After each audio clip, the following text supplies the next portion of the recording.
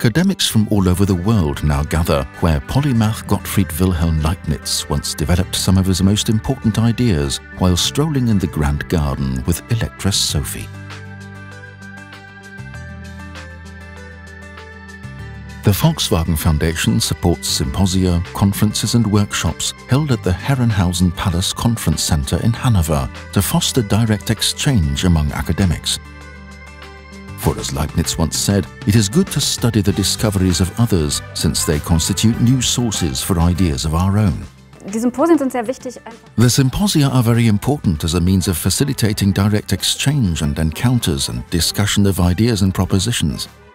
They open up possible ways to arrive at mutual standpoints, but also to share and discuss differing opinions face to face. Of course, you read what others write, but gathering together in a room and mutually thinking things through is something else. I believe what makes scientific symposia so valuable is precisely this function as instruments for gaining scientific insights. Als ein Instrument für wissenschaftliche Erkenntnisbildung. In the framework of its Symposia Weeks, for instance, the Volkswagen Foundation supports events that focus on the development of innovative ideas and new research perspectives. This offer is open to all fields. Groups of participants customarily encompass up to 50 academics.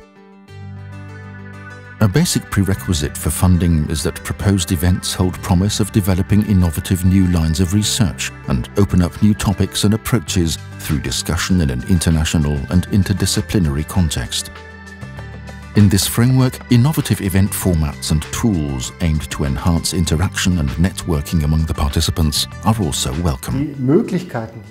Die Möglichkeiten hier As a conference venue, Schloss Herrenhausen and its gardens offer excellent possibilities, for here we find first-class facilities and a professional support team.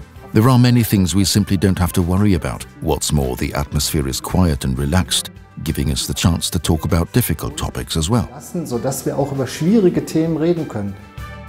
Another event format are the Herrenhausen conferences with up to 250 participants. Here the focus is on societal relevance, topicality in the given field of research and building bridges to the practice.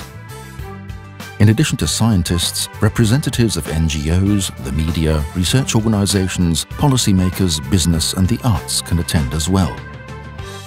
Participation of junior researchers from around the globe is especially welcome and the Foundation is able to support their attendance with travel grants. The prerequisite for receiving funding for such events, which by the way are not restricted to any specific field or topic, is an international and interdisciplinary orientation. Professors at German universities and other research institutions are invited to submit their ideas and concepts. Scientific conferences are important as a means of bringing representatives of various disciplines together to explore new interdisciplinary areas of research and to formulate new hypotheses. After all, research thrives on scientific cooperation, and we need contact with other scientists to launch such cooperation and keep it going. Moreover, communication is indispensable for developing the trust required to share data with one another. Daten zu teilen. The Volkswagen Foundation supports this important communication through its funding. In the framework of Herrenhausen conferences, it teams up with the academics who organize the events to further develop the concepts they submit and to provide assistance in implementing them. As an interface to the conference center, the Foundation supports organizational planning as regards catering and other conference infrastructures.